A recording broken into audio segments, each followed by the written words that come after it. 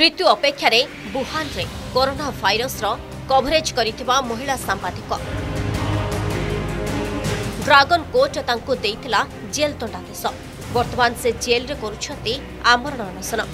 ଚୀନ ଉପରେ ସମ୍ପୂର୍ଣ୍ଣ ବିଶ୍ୱକୁ କରୋନା ଭାଇରସ ପଠାଇ ଲୋକମାନଙ୍କର ଅର୍ଥନୈତିକ ସାମାଜିକ ମେରୁଦଣ୍ଡ ଭାଙ୍ଗି ଦେଇଥିବା ଅଭିଯୋଗ ଆସିଛି। ଏହାକୁ ସ୍ୱୀକାର କରିବା ତ ଦୂରର କଥା।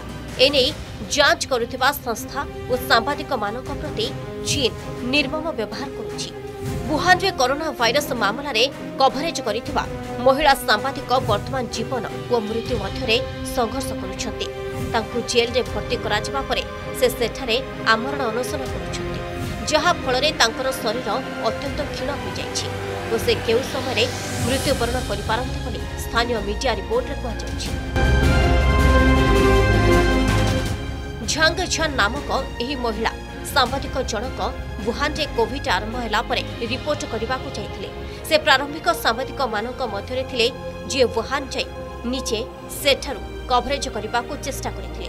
ସେ ମହାମାରୀ ସମୟରେ ସେଠାରୁ ରିପୋର୍ଟ କରିବା ସହ ମହାମାରୀର ମହାମୁକାବିଲା ପ୍ରସ୍ତୁତିକୁ ନେଇ ଅଧିକାରୀମାନଙ୍କୁ ପ୍ରଶ୍ନ କରି ସେମାନଙ୍କୁ କାଠଗଡ଼ାରେ ଠିଆ କରିଥିଲେ। ସେହି ସମୟରେ ସେ ତାଙ୍କର ମୋବାଇଲରେ କିଛି ଭିଡିଓ ମଧ୍ୟ ପ୍ରସ୍ତୁତ କରିଥିଲେ। ବାମପନ୍ଥୀ ଏକ ଛତ୍ରବାଦୀ ଶାସନ ଥିବାରୁ ସେଠାରେ ଫ୍ରି ପ୍ରେସ୍ ବୋଲି କୌଣସି ଜିନିଷ ନାହିଁ।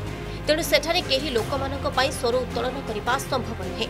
ଏହି କାରଣରୁ ଚୀନର କମ୍ୟୁନିଷ୍ଟ ସରକାର ତାଙ୍କୁ ସଙ୍ଗେ ସଙ୍ଗେ ଗିରଫ କରି ଜେଲ୍ରେ ଭର୍ତ୍ତି କରିଦେଇଥିଲା।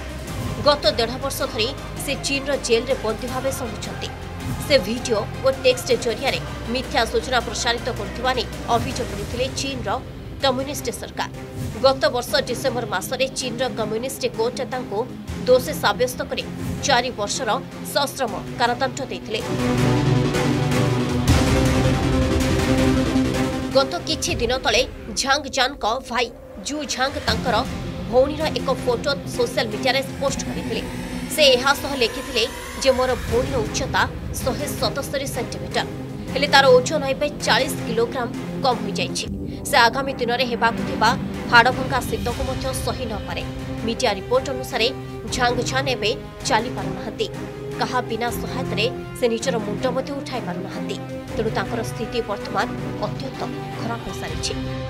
ଏହି ସୂଚନା ସାମ୍ନାକୁ ଆସିବା ପରେ ଦେଶ ବିଦେଶର ମାନବିକ ଅଧିକାର ସଂଗଠନମାନେ ଝାଙ୍ଗକୁ ଜେଲ୍ରୁ ମୁକ୍ତ କରିବାକୁ ଚୀନର କମ୍ୟୁନିଷ୍ଟ ସରକାର ନିକଟରେ ଦାବି କରିଛନ୍ତି।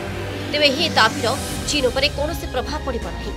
କମ୍ୟୁନିଷ୍ଟମାନଙ୍କର ଏକ ଛତ୍ରବାଦୀ ସରକାରରେ ମାନବିକ ଅଧିକାର ଶବ୍ଦର କୌଣସି ମୂଲ୍ୟ ନାହିଁ ବୋଲି ପୁଣି ଥରେ ପ୍ରମାଣିତ ହେବାକୁ ଯାଉଛି। ବନ୍ଦନା ରାୟଙ୍କ ଇନପୁଟ ସହ ବ୍ୟୁରୋ ରିପୋର୍ଟ ଅର୍ଗସ୍ ନ୍ୟୁଜ୍